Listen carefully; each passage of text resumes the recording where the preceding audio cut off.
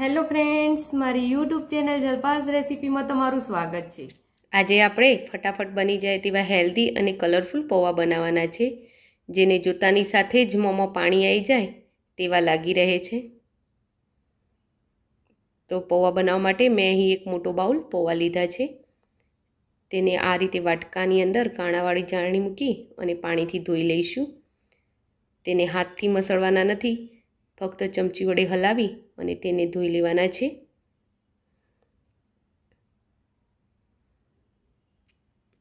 તો બસ, હવે તેને ઊંચા કરી થોડું ઉપરથી પાણી રેડી અને નિતારી લઈશું.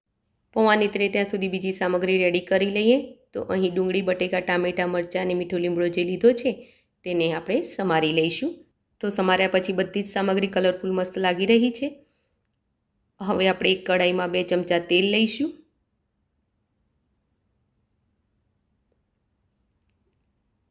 હવે તેમાં અડધી ચમચી રાઈ એડ કરીશું.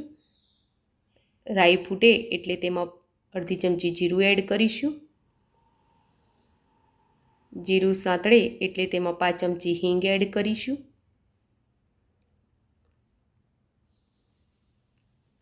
હવે જે મીઠા લીમડાના પાના સમારીને લીધા છે તે એડ કરી લઈશું. હવે જે ડુંગળી ઝીણી સમારીને રાખી હતી તે પણ એમાં એડ કરી લઈશું. અને ડુંગળીને બરોબર સાંતળી લઈશું.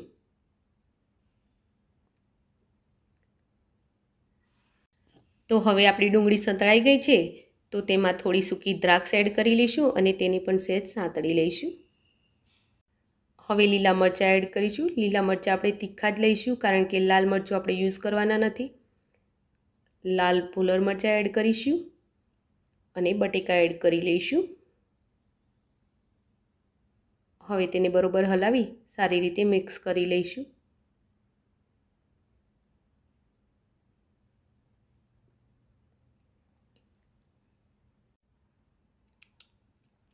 હવે આપણે તેમાં પોણી ચમચી હળદર એડ કરીશું અને પોણી ચમચી મીઠું એડ કરીશું. હવે બંને મસાલાને બરોબર હલાવી મિક્સ કરી લઈશું. તો હવે પેન ઉપર ઢાંકણ ઢાંકી અને તેને થોડીવાર સીજવા દઈશું, પાંચથી છ મિનિટ. તો જો તમને મારી રેસીપી ગમી હોય તો વિડીયોને લાઇક કરજો, મારી ચેનલને સબસ્ક્રાઈબ કરજો અને બે લાઇકન ઓલ દબાવજો, જેથી કરીને તમને મારા નવા નવા વિડીયોની નોટિફિકેશન મળતી રહે. હવે આપણે ખોલીને જોઈ લઈએ. તો આપણા બધા શાક મસ્ત રેડી થઈ ગયા છે ચડીને. જો ના ચડી ગયા હોય તો થોડીવાર તેને સીજવા દેવાના વધારે. તો હવે આપણે આમાં ટામેટાં એડ કરીશું.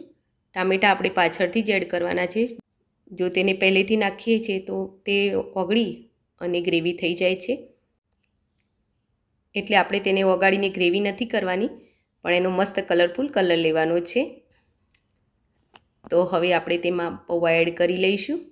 તો બસ પૌવાને આ રીતે છૂટા છૂટા કરી અને તેમાં એડ કરી લેવાના છે.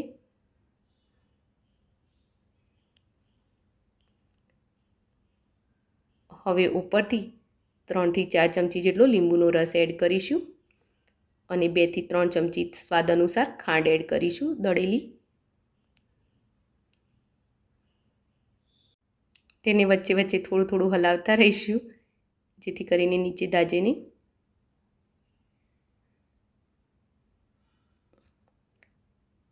હવે તેમાં ધાણા જીરું પાવડર એડ કરીશું એક ચમચી જેટલો.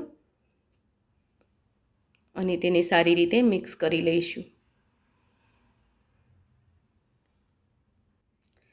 તો હવે ગેસના ફ્લોને ધીમો કરી તેને મસ્ત કલર આપવા માટે આપણે ચારથી પાંચ મિનિટ ઢાંકીને સીજવા દઈશું.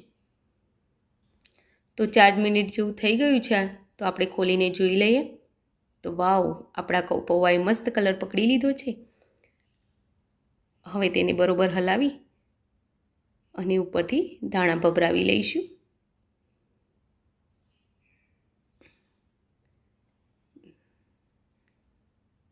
અને તેને ડીશમાં સર્વ કરી લઈશું. ઉપર થોડી સેવ, દાડમ અને ધાણા ભભરાવી લઈશું. તો રેડી છે આપણા આ હેલ્ધી ફટાફટ બની જાય તેવા મસ્ત કલરફુલ જે જોતાની સાથે ખાવાની ઈચ્છા થઈ જાય તેવા પૌવા. તો તમે પણ એકવાર આ રેસીપી જરૂરથી ટ્રાય કરજો. જો તમને આ રેસીપી ગમી હોય તો વિડીયોને લાઇક કરજો, શેર કરજો અને હા, કોમેન્ટ બોક્સમાં જરૂરથી લખજો કે તમને આ રેસીપી કેવી લાગી.